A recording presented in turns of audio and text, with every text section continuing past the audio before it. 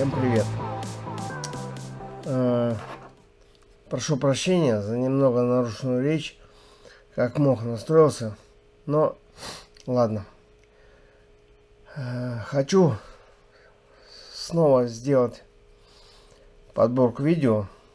Таких, которые нужны людям. А не всякой лабуды. Э, К вопросу о ремнях.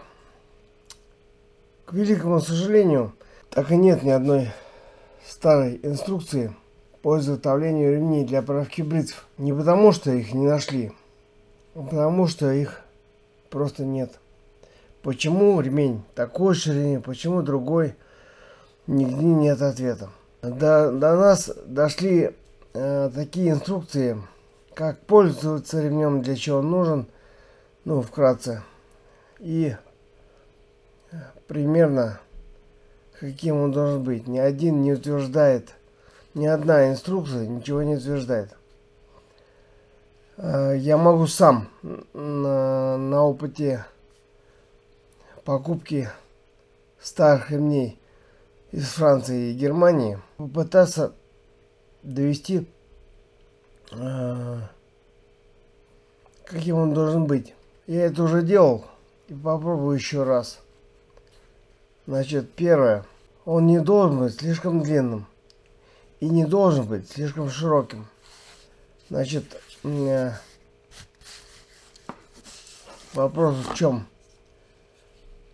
А, слишком длинный ремень, ремень будет заставлять вас делать неправильный процесс правки, исходя из длины. Слишком широкий ремень будет заставлять вас делать неправильное давление от обушку к кромке. Примерно нормальная длина ремня это где-то 20 сантиметров. Примерно. Ширина нормальная 4,5 сантиметра примерно. Это не узкий ремень. Это нормальный ремень. А, разница давления сведена к минимуму. То есть, когда вы правите, проход у одного края, где давит, держит ремень рука, и у того, где идет головка сама, то есть рука давит на обушок, ой, на этот R, и по всей длине длина э, давления распределяется неравномерно. То есть от обушка, от э, R больше, дальше все меньше и меньше. А, мы это компенсируем за счет того, что ремень на, на брит на ремне идет по диагонали. Она перекрывает небольшую разницу давления. Вот. Плюс немаловажно это ровность кожи. Насколько кожа ровно сделана. Именно ровно. Потом второй аспект это гладкость. Ну, не должна быть такая, что вообще как на гуталинный ботинок. Но гладкая относительно и ровная.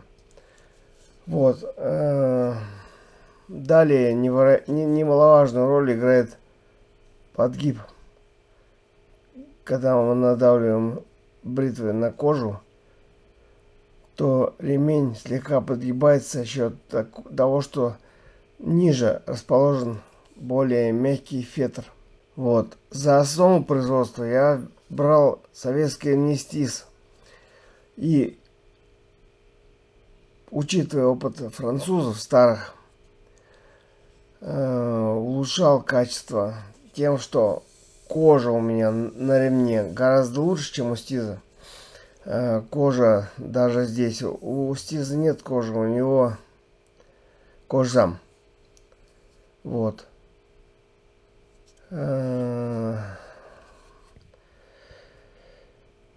значит, я их постоянно улучшаю качество. Вот видно, что даже картинка на ремне изменилась со времени того последнего ремня, который я снимал на видео. Э, изменилась коробка, качество коробки. Все изменилось абсолютно. Плюс качество оклейки кожи на этот самый на колодку. Плюс сама колодка стала другая.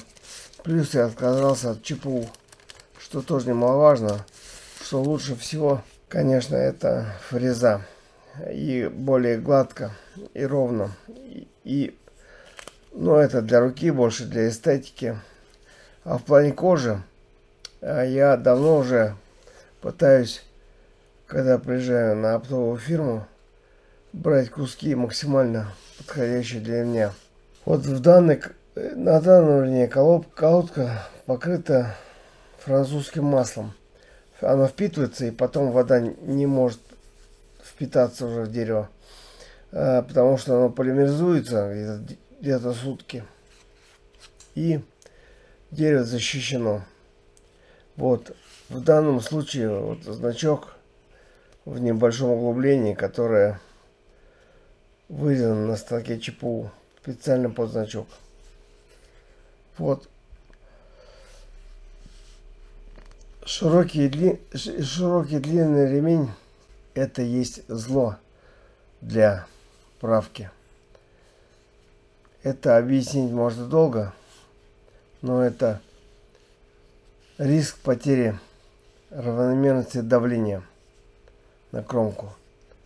В общем, э для того, чтобы понять, какого качества должен быть ремень, нужно массу ремней передержать в своих руках.